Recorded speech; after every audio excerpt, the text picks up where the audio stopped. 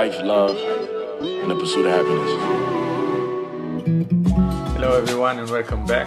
It's great to have you. It's been a while since I was vlogging because I really didn't have nothing to vlog about. The title of this video will be about the Sony a7 III and why it should be your first camera. And after spending one year with this camera as an amateur and a professional, as a traveler, I cannot express my recommendation for this camera in words. This is the perfect camera to buy as a beginner. You will have a full frame camera which making HD slow motion in 120 which is crispy amazing for b-rolls or for whatever you want to film. It's very lightweight so it's fun to carry it with you not like the big bulky heavy DSLR cameras and the best thing you can get it it in second hands in a good price.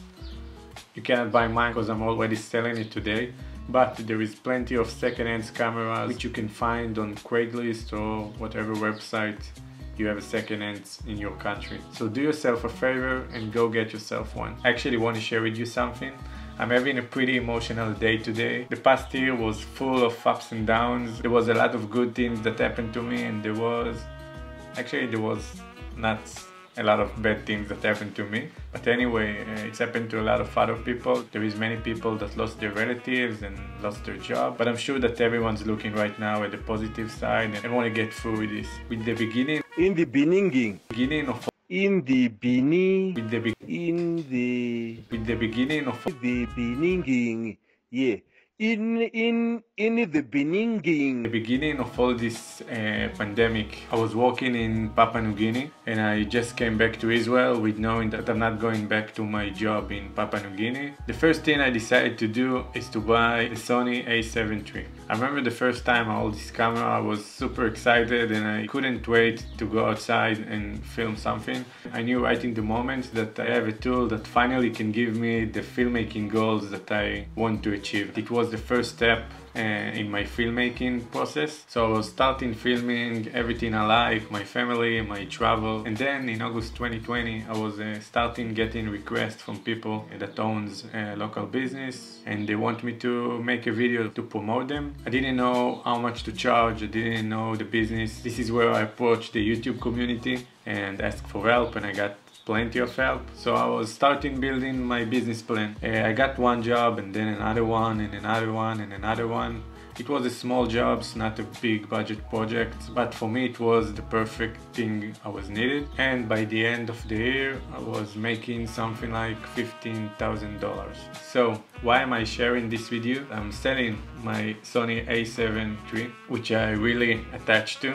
It's a perfect camera. It made my year the best year that I could ever imagine. It gave me a new job, a new business, a new hobby. I was filming all my life, but to get the dream camera you always wanted is the best thing that can happen to you. So it's really hard to let go from this camera, but the reason I'm doing it is I'm evolving. I'm getting more requests and because I made money from this camera, I decided the best thing I can do is to invest back in my business, in my camera, in my equipment. This is why I'm buying the Sony a7S III I don't know where my business is directing right now and I really don't care because first thing I love making videos no matter if I get paid for it or if I'm not. So it's a win-win situation for me. But I do see a bright future to my business and I do want to invest as much as I can and afford to make my video production better and better every day. I do invest in post-productions, computers, in new lens and whatever I need actually.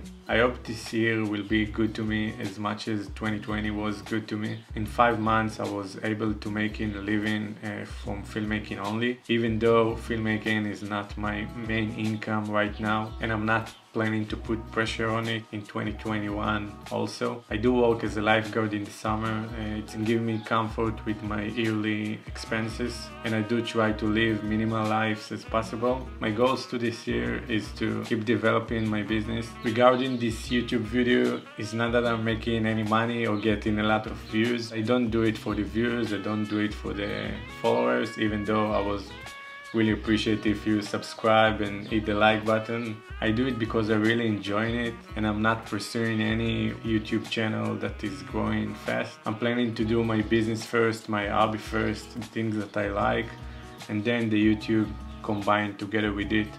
But I want to keep it for fun and I want to keep it my happy place where it's right now. If you are like me struggling all this filmmaking area which you don't know if to go all in or not and invest all the time you have and all the money you have in making yourself a better filmmaker and to hopefully make a living from it. I do recommend to take it step by step. It's not a one year process even though there is people that in a few months grow their business from zero to making thousands of dollars. But probably you're not that person. And if you are good for you. I'm not that person. And if you're not take it easy. Be patient. Invest your time. But don't put too much pressure on your mind. It will destroy your creativity. And take out the fun out of it. And when you take out the fun out of it it's like every other job.